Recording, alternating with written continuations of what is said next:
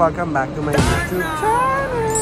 And today's vlog mga besh ay finally nakita-kita na kami ng aming mga besties. Siguro mga 2 weeks kami hindi nagkita-kita dahil nga may mga nag-positive na makasama namin. At ngayon, nandito kami sa Al Zahia City Center. Dito lang yan sa Sharjah.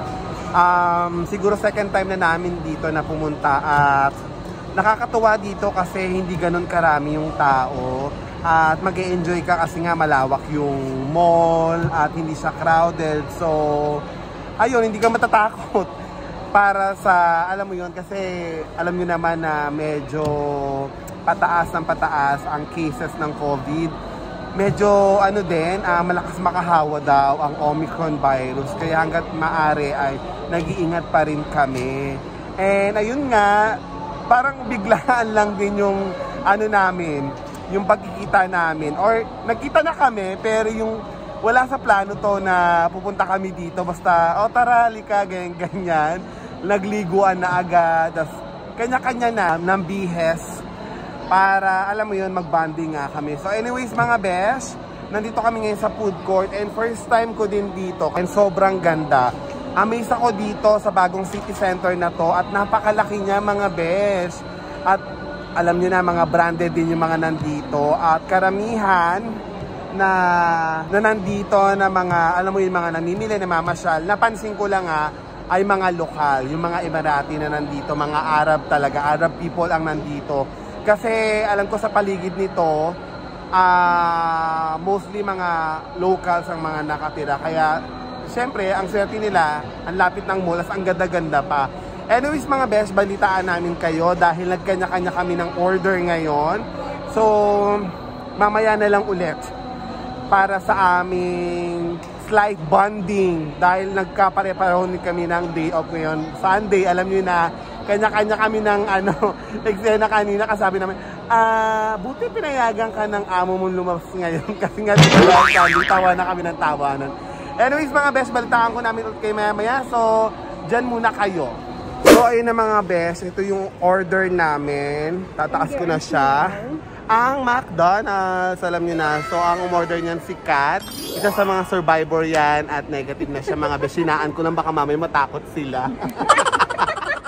At si Ever, kasama ko sa Ever ngayon. Hi Ever! Two weeks din kami hindi nagkita. Siguro after New Year, ba? So, nakakatuwa kasi dahil malakas ang immune system ni Ever, hindi siya tinamaan. At kami magkakasama talaga. And thanks God, hindi ako tinamaan. Hindi ko alam kung tinamaan ba ako. Ayoko lang magpa-PC. Ayokong aminin. So, Kat, ano naman ang feeling na nagkaroon ng COVID?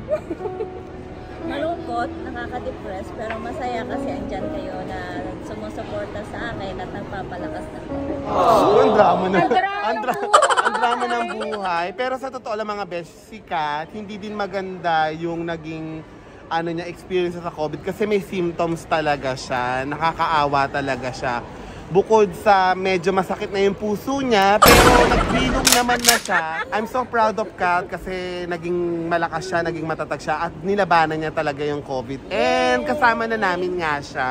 Eh, nakakain na ng ice cream. Yeah, so pwedeng pwede na siya. At si Ever naman, Ever ikaw naman. I'm fine, uh, I'm really fine. Ano naman ang ano mo, ano naman ang ma-advise mo? Kay Kat? Oo. Huwag siyang kumain ng ice cream kasi nakaka-COVID yun. Baka hindi. Dapat alagaan natin yung sarili natin. Dahil alam niyo mga best cat, sobrang workaholic, niya pabayaan yung sarili. Kaya, ayun. Pero sabi nga namin ay masaya na rin kami dahil nag-negative na siya. And laban lang tayo syempre sa COVID talaga. Ito naman yung isa sa mga nagka-COVID din at negative na rin. At kumakain na rin ng ice cream si Alvin. So, Bini ko naman, how's your experience na nagka-COVID ka? Ano ba yung pakiram? Kumbaga, ano yung pakiramdam at ano yung ma-advise mo sa mga beshi natin pag may COVID sila? Unang-una, natakot din. Siyempre, sakit yun eh. Pero ang sabi, lakasan mo lang loob mo, at kung may panlasa ka, may panlasa man na wala, ikain mo pa rin. Dahil pag, pagkain na magpapalakas sa'yo. Ano naman yung maano mo sa kanila na, kumbaga, pag nagkaroon ng COVID, uh, ano, ano oh, ano yung masasabi mo sa kanila? Oh. Kakalimutan palakasin yung katawan at unang-una sa lahat, manalangin tayo. Tama. O yun. So, yun yung ah, importante talaga. So, kung magkakaroon man tayo ng COVID is magpalakas agad at mananalangin kasi alam niyo na doon naman talaga yung pinaka ano ah, pangahawakan talaga natin. So, Bean, thank you so much. So, mga best kompleto na kami ngayon dito sa aming table. Ayan. So, kung nakikita nyo, ay nakapag-order na ang lahat at ready na kaming kumain. Yan. Maraming maraming salamat syempre sa nag-sponsor. Nag-sponsor talaga. Ang bongga. Oh. Ayan, si Joanne, yan si Ate Claire, Edward, yan si Gian, si Janet. Ayan, so kung nakikita nyo, gutom na sila. Pero kasi kami, ano eh, ah, kumain na kami. So slight lang na kain-kain talaga. So mamaya balitaan namin ulit kayo mga besh.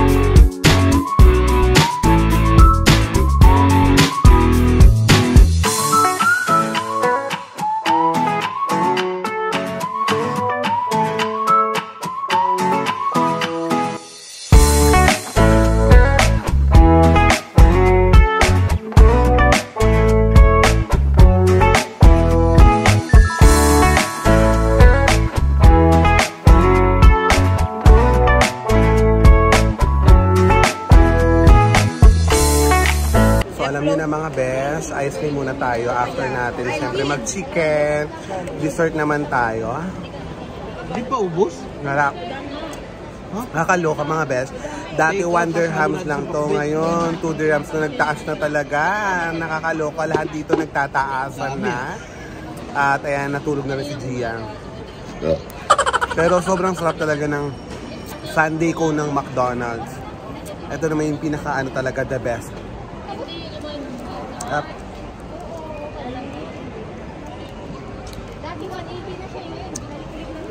Parang binagyo yung kinainan namin kasi tapos Kwentuhan na na. Ito po yung bagyong dumaan.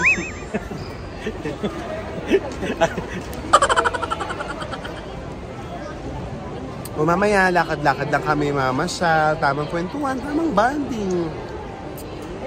O yun, mga best, balitaan namin ulit kayo. At uubusin ko muna tong ice cream pa. Lagay mo po dyan.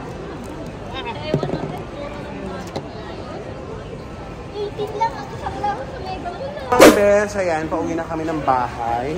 Hindi ko alam kung uuwi na kami kasi medyo maaga pa.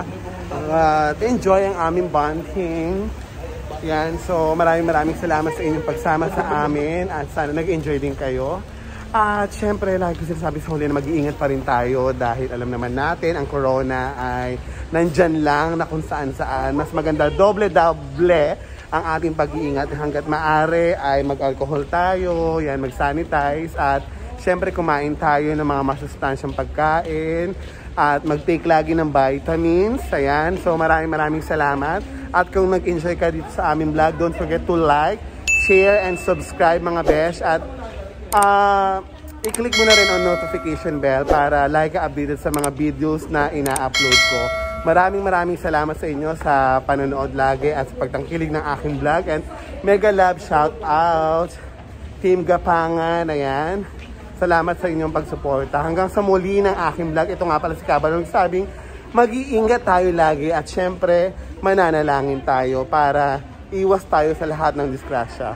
Hanggang sa muli mga besh, paalam, bye!